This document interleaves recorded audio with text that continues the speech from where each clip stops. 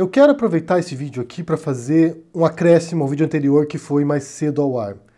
Eu acho que é o mais legal de fazer vários vídeos ao dia é justamente isso, poder estabelecer esse diálogo com vocês, é, ler os comentários e acrescentar alguma coisa que talvez tenha faltado ou que não tenha ficado muito claro no primeiro vídeo. Inclusive eu quero aproveitar e responder já uma pergunta que me fizeram já em diferentes circunstâncias aqui, inclusive me fizeram essa semana, se eu leio todos os comentários que eu recebo. E eu posso dizer que eu não leio todos, porque são dezenas de milhares de comentários que eu recebo por mês, mas eu leio boa parte deles, quase todos, na verdade. Eu leio quase todos aqui no YouTube, leio quase todos no Twitter e leio quase todos que eu recebo também no Instagram, incluindo no Direct. Então eu leio quase tudo que vocês me mandam, eu acompanho os debates que se dão, embora eu não possa comentar em tudo nem responder tudo. Eu acabo interagindo mais no Twitter porque é mais dinâmico, é mais rápido. Aqui eu leio e às vezes Raramente eu comento alguma coisa porque é impossível responder tudo. Então eu leio os comentários de vocês e muitas vezes eu extraio conteúdo de vídeos a partir dos seus comentários, a partir daquilo que vocês refletiram, ou aquilo que vocês questionaram, ou aquilo que vocês criticaram em algum vídeo meu. Então, nesse caso em particular, tem a ver com isso. recebi vários comentários no vídeo de manhã e eu quero responder alguns deles que eu deveria ter feito no vídeo anterior, na verdade.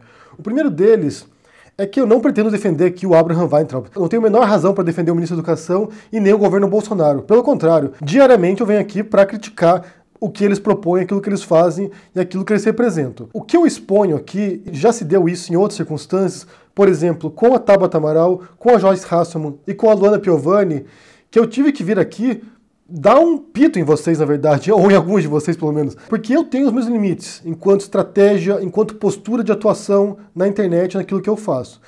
Por exemplo, eu não acho que é legítimo a gente ser racista para atacar o Hélio Negão, ou ser machista para atacar Joyce Hasselman, a Damares, ou a Luana Piovani, ou a Tabata Amaral, ou gordofóbico para atacar a Hasselman, ou ser homofóbico para atacar o Carlos Bolsonaro sobre a suposta relação que ele teria com o Léo Índio.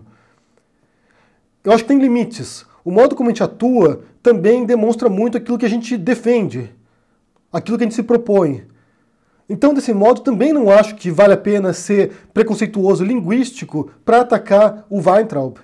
Não sei se a gente ganha alguma coisa com isso. Como eu disse mais cedo, eu até entendo que tem graça você fazer isso em relação à postura dele e, ao, e ao cargo que ele ocupa e quem ele é, mas eu discordo completamente do Olavo de Carvalho, por exemplo, quando ele diz que para poder atacar o outro, você não ataca as ideias, você ataca as pessoas, os grupos. Você tem que destruir as pessoas psicologicamente, economicamente, socialmente. Eu discordo completamente disso. Eu acho que o confronto se dá no âmbito das ideias. A gente tem que mostrar como aquilo que eles dizem, aquilo que eles simbolizam, aquilo que eles querem é prejudicial. Eu não tenho a menor intenção de destruir fisicamente alguém.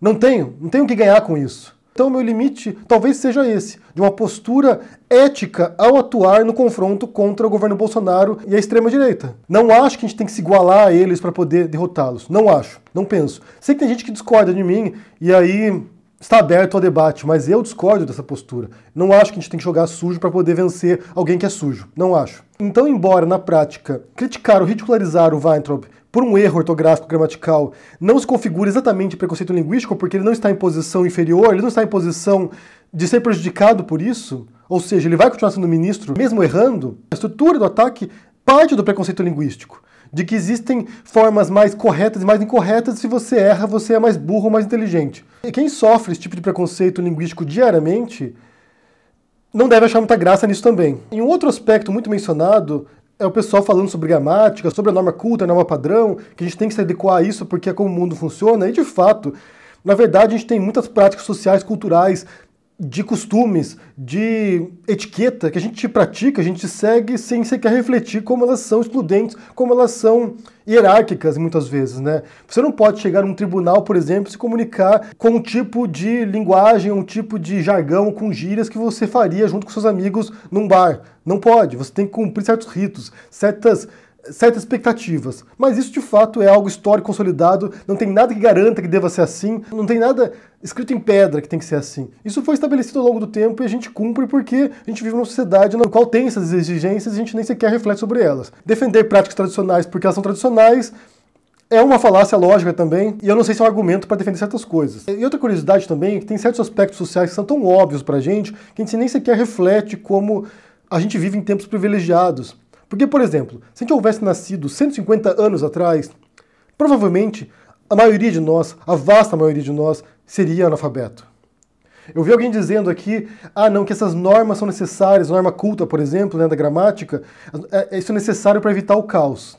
Gente, o ser humano existe há uns 300 mil anos. Sabe-se lá quanto tempo a gente tem que fala, a gente se comunica oralmente. A escrita existe mais ou menos 10 mil anos para cá, ou menos. Como eu disse, até 200 anos atrás, a vasta maioria da população do planeta era completamente analfabeta. E não era um caos. As pessoas comunicavam, as pessoas tinham sua língua, falavam entre si, se entendiam e não era um caos. Os seus avós, provavelmente, os seus bisavós, tinham o mínimo de escolaridade e não era um caos.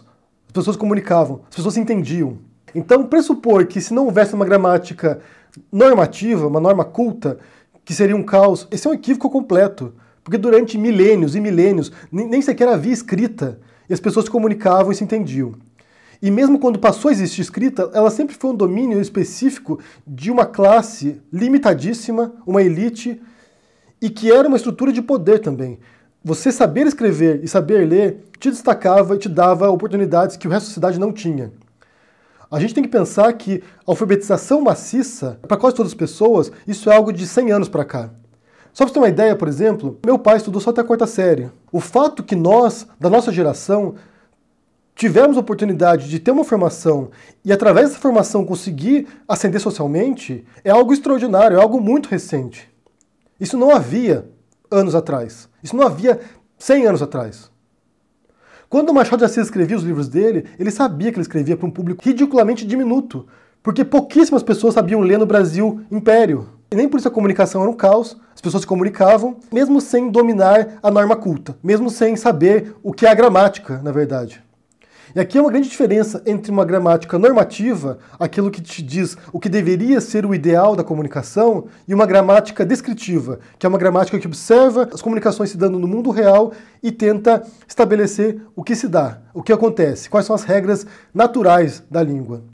Por exemplo, a norma culta, esse bem falar e esse bem escrever, ele tenta nos impor os limites da comunicação. Você tem que falar assim, porque se você falar assim, você vai dominar a sua língua. E essa é uma tremenda uma bobagem. Como eu disse no outro vídeo aqui, você tem diferentes, inúmeras variantes linguísticas no país e as pessoas se entendem. Elas sabem o que está falando, elas entendem o que isso quer dizer e elas interagem entre si, mesmo sem saber regras gramaticais, mesmo sendo analfabeta. A gente está falando de um atributo dos seres humanos que talvez até nos caracterize enquanto espécie de animais, essa capacidade de se comunicar de maneira simbólica, de maneira criativa, de maneira abstrata, e que outros animais não têm, ou até onde a gente saiba não tem, isso nos distingue. Isso tem centenas de milhares de anos, não é de agora. Então o fato de você não saber gramática não quer dizer que você seja burro, nem que você não consiga se comunicar com os outros. Embora você tenha essa estrutura hierárquica cultural que diz que se você dominar certo registro gramatical, que você é melhor do que os outros.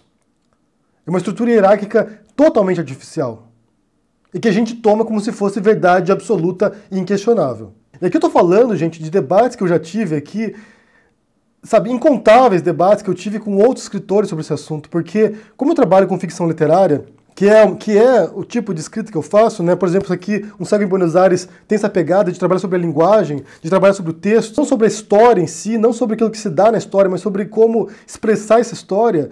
Para mim é muito importante esse tipo de debate sobre o que é a linguagem, o que é a língua, como a gente se comunica, sobre o solo comum da comunicação e sobre as fissuras que se dão também, sobre a incompreensão. Porque para mim, boa parte das disputas que se dão no mundo é por incompreensão, é porque o outro não entendeu o que se quis dizer. Mas isso não passa por entender gramática, gente. Isso não passa por saber gramática da norma culta, não. E nem por ortografia. Então a gente está falando aqui da escrita e da gramática normativa como uma estrutura de poder também milenar que durante séculos e séculos grupos específicos, monges, escribas, monopolizaram para dominar socialmente.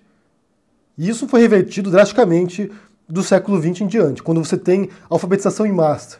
Inclusive, alguns intelectuais do século XIX pensavam que isso era ruim. Nietzsche tem um texto dele, se não me engano, é no Zaratustra, assim falava Zaratustra, que ele dizia que, que todos aprendessem a escrever era ruim para a escrita, porque isso banalizava a escrita, isso levava a comunicação à decadência. Talvez esse caso do Weintraub nos sirva para pensar como a linguagem também é um modo de dominação, que também ocorre no modo como as pessoas ensinam as demais, muitas vezes. Porque eu vejo, em alguns casos específicos, mesmo entre filósofos e pensadores, eles utilizarem uma linguagem altamente hermética, incompreensível para os demais, difícil, com jargão, para que o outro não entenda aquilo que eles disseram. E assim eles passam como super inteligentes e os outros como burros. Então também é um modo para vetar o acesso ao conhecimento para os demais. Isso é feito, isso é feito por eruditos, isso é feito por professores às vezes, por cientistas. Isso é feito. Talvez não intencionalmente, mas às vezes também intencionalmente. Às vezes para mostrar assim, olha só como eu sou fodão e vocês são a ralé. Então esses são os dois pontos que eu queria ampliar um pouco com vocês aqui nesse vídeo. Que é o primeiro aspecto, que eu não tenho nenhum motivo para defender o Weintraub. Pelo contrário, tenho tremendas críticas contra eles e vocês sabem disso, quem acompanha aqui sabe. A minha crítica é em relação aos métodos para fazer a crítica. Aos procedimentos. Se vale a pena a gente se rebaixar ao nível deles para atacá-los. Eu acho que não vale a pena. Eu acho que não vale a pena mesmo. E o segundo ponto, a gente não tomar nossa época como a tábua, a régua para medir toda a história da humanidade. E como a gente chegou até aqui agora. Se a gente tem uma estrutura hierárquica linguística também que discrimina pessoas de acordo com o seu espaço de origem, de acordo com sua classe social, e você encontra isso em diferentes instituições, isso também deveria ser posto à crítica. Por quê? E por outro lado, agradecer que a gente esteja numa sociedade, num mundo num período, numa época no qual a gente tem acesso a esse tipo de conhecimento, no qual a gente tem acesso à escrita, à educação formal, que a gente possa fazer esse tipo de coisa e através disso crescer, tanto economicamente, socialmente, culturalmente. Porque isso não era a realidade 200 anos atrás, não era. Todos nós aqui, praticamente todos nós, se houvéssemos nascido 200 anos atrás, a gente não teria acesso a livros, a gente não teria acesso à escola, a gente não teria acesso à alfabetização. Isso mudou drasticamente de 200 anos para cá. E o mundo não era um caos.